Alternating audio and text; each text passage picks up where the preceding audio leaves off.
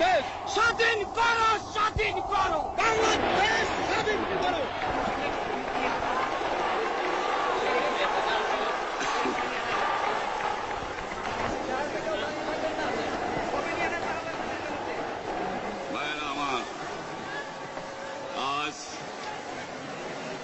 দুঃখ ভারাক্রান্ত মন নিয়ে আপনাদের সামনে হাজির হয়েছি।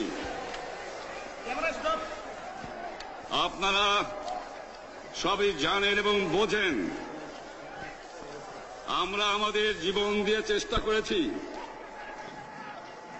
কিন্তু দুঃখের বিষয়, আজ ঢাকা, চট্টগ্রাম, খুলনা, রাজশাহী, রংপুরে আমার ভাইয়ের রক্তে রাজপথ রঞ্জিত হয়েছে। আজ বাংলার মানুষ মুক্তি চায়। বাংলার মানুষ বাঁচতে চায়। বাংলার মানুষ তারা আজ তার অধিকার চায়।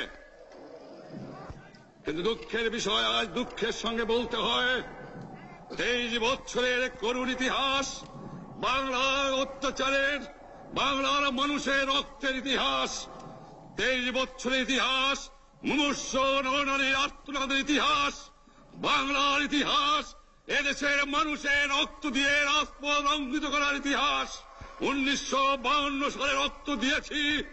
উনিশশো চুয়ান্ন সালে নির্বাচনে জয়লাভ করেও আমরা গদিতে বসতে পারি নাই।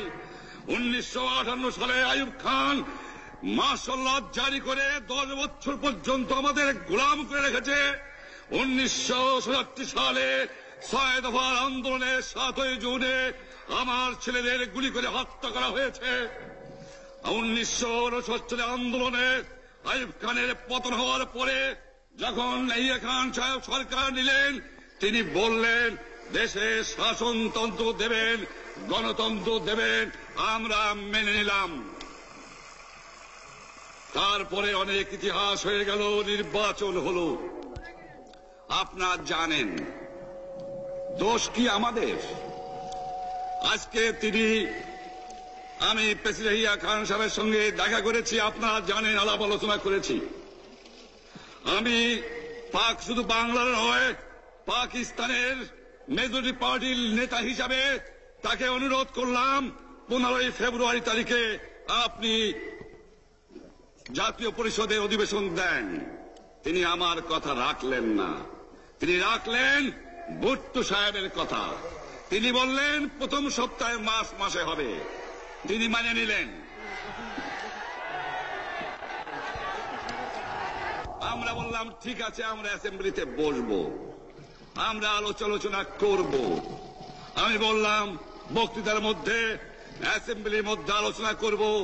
এমনকি আমি এ পর্যন্ত বললাম, যদি কেউ ন্যায্য কথা বলে, আমরা সংখ্যায় বেশি হলেও একজন যদিও সে হয়, তার ন্যায্য কথা আমরা মেনে নেব। আসুন, বসি। আমরা আলাপ করে শাসনতন্ত্র তৈরি করি। তিনি বললেন, পশ্চিম পাকিস্তানের মেম্বাররা যদি এখানে আসে, তাহলে কসাইখানা হবে অ্যাসেম্বলি। যদি কেউ অ্যাসেম্বলিতে আসে, তাহলে পেশোয়ার থেকে করাচি পর্যন্ত